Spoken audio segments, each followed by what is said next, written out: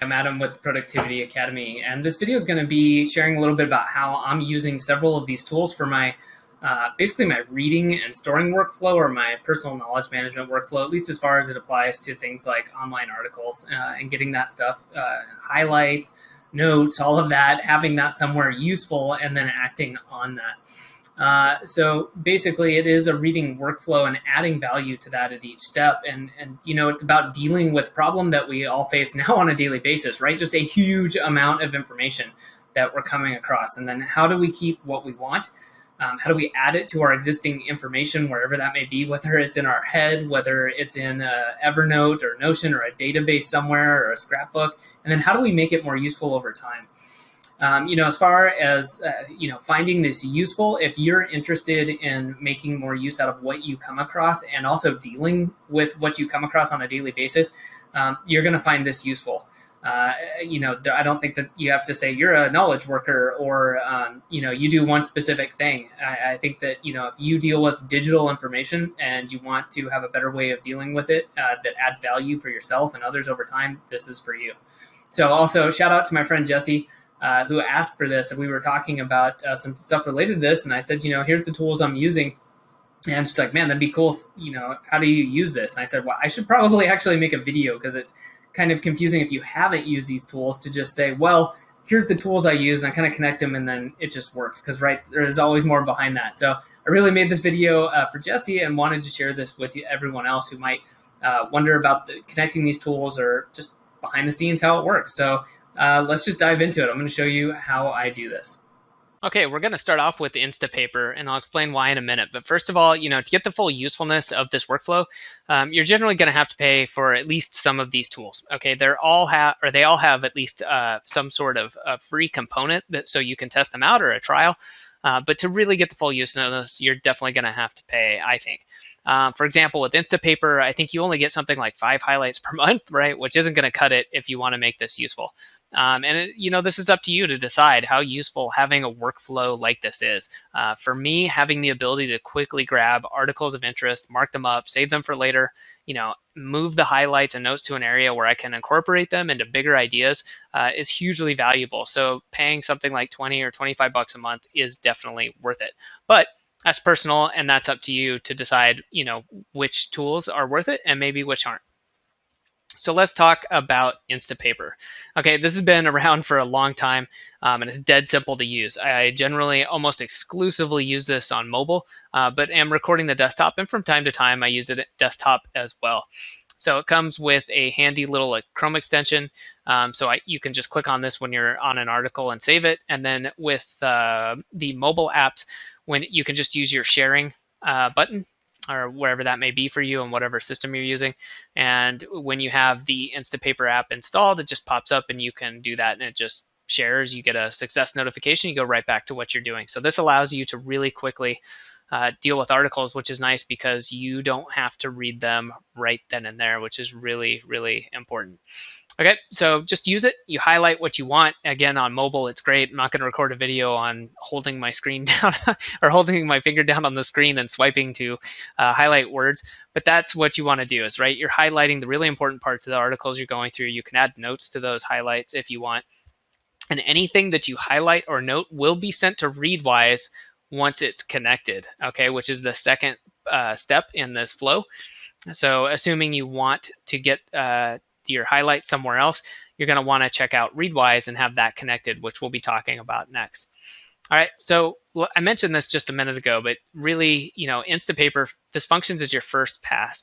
So you don't have to worry about having too much stuff here, right? Um, and it's good if you don't get to everything. I've got some stuff in here I haven't looked at, you know, stuff where I started to make notes, and that's okay.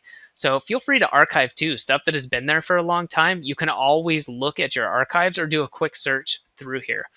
But you know, to me, it's a sign that hey, it piqued my interest, but it wasn't really something I needed because clearly, if it was, I would have gotten to it. And but maybe it will be in the future, so I can just archive it. I don't have to delete it, right? I can come back to it, and then as time allows, you could just whip out Instapaper on your phone, go through an article, you can highlight, you can add some notes, and this is great, right? You can do this from time to time instead of uh, I don't know playing a game or checking your email uh, constantly. So I actually do this a lot of times uh, in the morning while I'm having coffee, and I do find that doing this consistently is good because if you do want to get your highlights somewhere, you've got to make the highlights first. So you know maybe getting started with this workflow, uh, you need to set up yourself a, a little reminder just to go in here. But I think with anyone who's looking to set up a workflow like this, that's probably not going to be too important.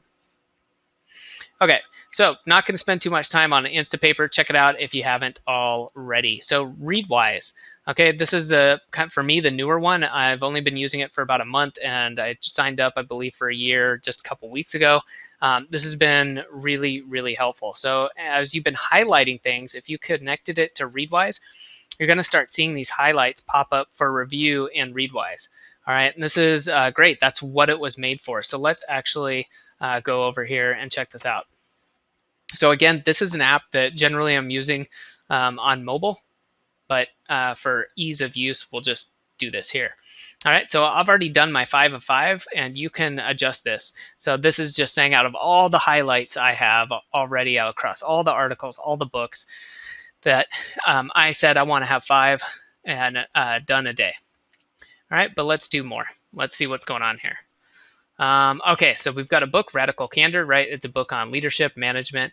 Um, let's see okay, this looks pretty good. Just a, a quick review. on what I do here um, is, you know, I'm just looking to see one, this is spaced repetition, right? Because it's grabbing uh, some interesting uh, information from the highlights. But I can also say that sometimes the stuff I highlight, actually, it doesn't make sense for me to review it. So I will discard it. And there's sometimes entire articles or books that are purely reference for me that I can then uh, go into the settings and set the review period to zero uh, or never.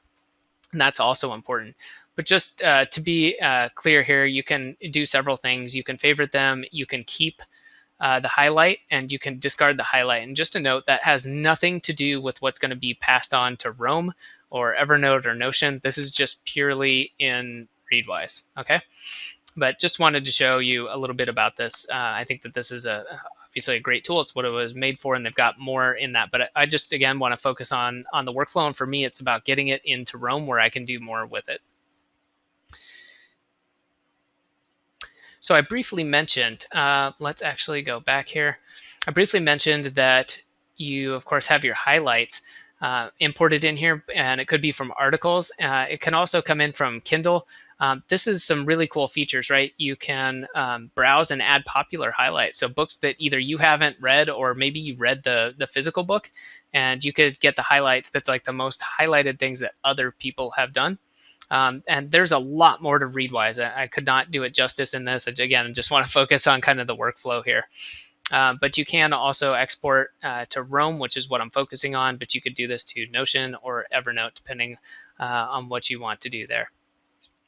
So what is interesting? So this uh, getting the highlights from Readwise, right? Because now Readwise is kind of filled with your highlights, and it connects automatically. So I believe Readwise developed it, but Roam just recently has released an API, so maybe changing a little bit. Um, but you can customize the header, which I'll show you, that goes onto the page in Roam. And I've done some minor changes, and I know some other people have done some similar things. Uh, so let's check that out. Okay, so we come over here and all I did was click on Roam Export uh, in the main menu. And you can do a manual export, but this is what I wanted to talk about. They've got the variables, metadata, and then this is what is uh, getting put in the highlights header. So header text above each of the synced highlights, all right? So, um, and actually this one right here is what is going to be put into Roam. So let me expand that a little bit. Uh, so these are some things I've added. This, I believe, was what it came with, and you'll get to see exactly what this looks like. But that's nice because I'm going to add some tags, and I also want to know what the status is, all right? So let's keep moving along. Now, we just went through some of this. I highly encourage you to check out Readwise. Uh, they've been great. Uh, there's so much more. I, again, I can't uh, get into it here because it would take too long, and I don't consider myself, you know, an expert on every single uh, bit of this. Their support has been fantastic. Um, again, just check it out, see if that makes sense to you. There's so much this tool can do. I, I this has been a great find. So uh, let's move on now to Roam. Okay, so here we are. This is for anyone who's used Roam. Uh, this is pretty familiar. This is the daily notes. Uh, for anyone who hasn't used Roam, this is what uh, just the blank page looks. And it's actually, if you pull open your uh, sidebar here and you click on daily notes, this is where it starts. So you could add notes here. Uh, and I'm not, again, this isn't, can't go into details on this, but want to show you the basics. So I've arranged this and I'll uh, discuss where I, how I arranged this and why and the people I got the ideas from. Uh, but basically, I go to my inbox of unsorted articles because that's uh, where I can see everything that's been imported by Readwise. Okay, and there's different ways to do this, but I'm just going to focus again on the way I do it uh, and show what's happening here. So I go to inbox, and you can see you could click there and start writing stuff, but you can see these linked references. If you expand these down, you can come in and take a look at you know all sorts of different stuff. Let's take a look at this one: four steps to prepare for quantum uh, computing. So it's from Security Boulevard and then highlights. All right, and this is just what um, Readwise is adding on to there. And um, so we've got this is the information that we were talking about that the header uh, that it puts in there. And so there's no tags but it is on each of them I told it to add inbox so that I can go to my inbox and see all of these. So let's hop back over here, right? That is exactly what I told it to do.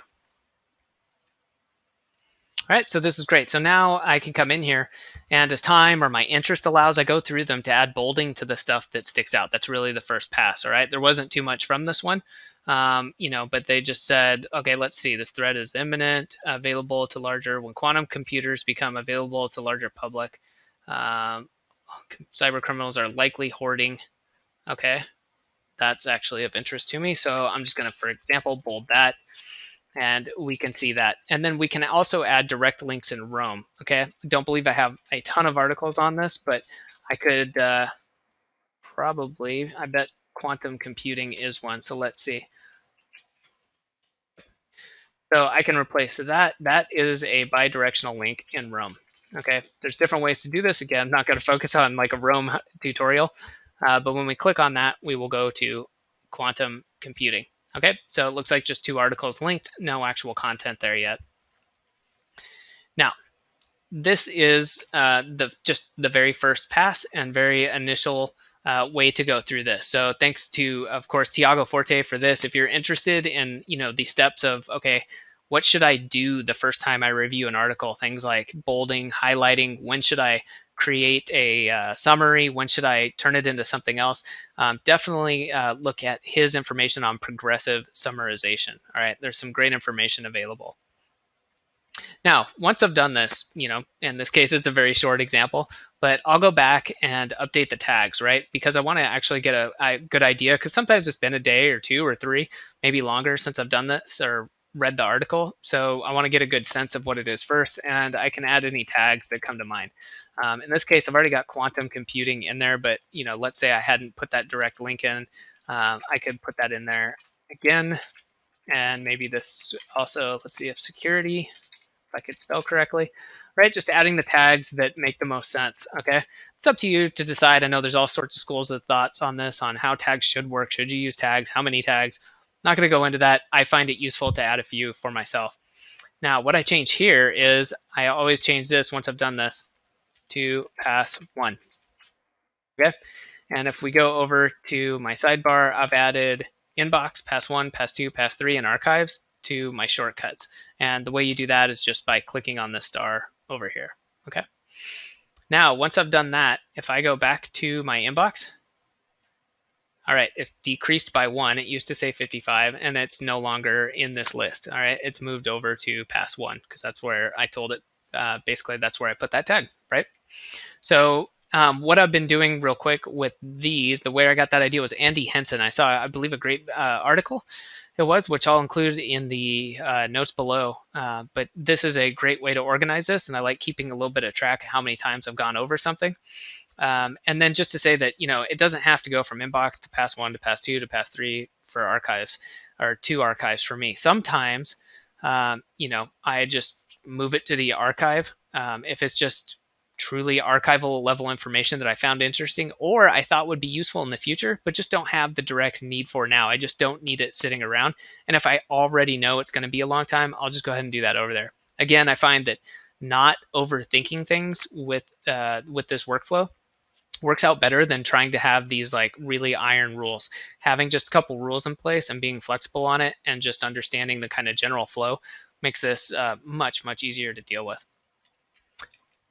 All right, so let's go back in here. Let's say I came back through here and for whatever reason, this has become super important. I could add some highlighting to this, right?